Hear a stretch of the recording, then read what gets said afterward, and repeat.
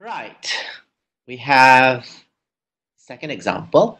I would like to share it with you. So an experimental test on chlorine intake yields the following results. Okay, so you have chlorine dosage. Okay, remember uh, my graph that I have drawn using my whiteboard just now. So chlorine dosage is basically uh, representing the x-axis or the chlorine added. So chlorine residual is the y-axis. So once you add 0.2 milligram of chlorine, so basically the residual is 0.19, okay, 0.4 and 0.36 and so on. So once you've got all this data, basically you can imagine that you need to plot a graph. Okay, so what is the question? I think that's the most important thing to do. Just to read the question first. Okay, determine graphic graphically, you see, you have to draw a graph. Okay, the chlorine dosage at the breakpoint chlorination. Okay, at the breakpoint chlorination. So you have the data and you need to plot a graph. so I have already printed the graph for you. Okay, I have already sketched the graph for you if you like. Looks like this. Okay, so that is the graph.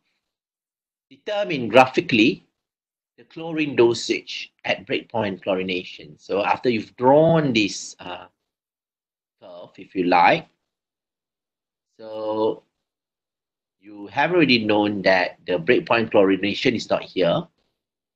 It's not that. So it's not also that, but this point, okay, the minimum point there is called breakpoint. So they were asking you on the chlorine dosage. So you've got to refer at the x-axis because chlorine dosage is the x-axis. Chlorine residual is the y-axis. So that is our breakpoint. So what is the dosage? Is definitely just goes down there and the value is 1 milligram per liter. Okay, so the chlorine dosage at breakpoint is 1 milligram per liter. Right, the second part of the questions, it says calculate the chlorine demand when the chlorine dosage is 1.2 milligram per liter. Calculate the chlorine demand when the chlorine dosage is 1.2 milligram per liter.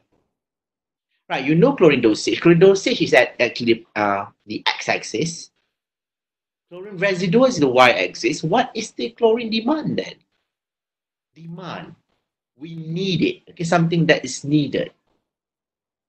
Okay, if you give certain dosage,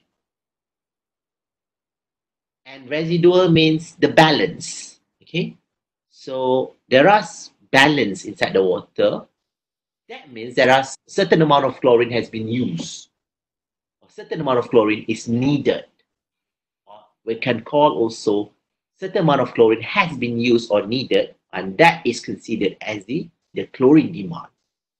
So in other words, chlorine demand plus chlorine residual would be equal to chlorine dosage. I'll repeat it again. Chlorine demand add with chlorine residual is equal to chlorine dosage. Okay, because of that, so we look our chlorine dosage at 1.2 milligram per liters at the graph. Okay,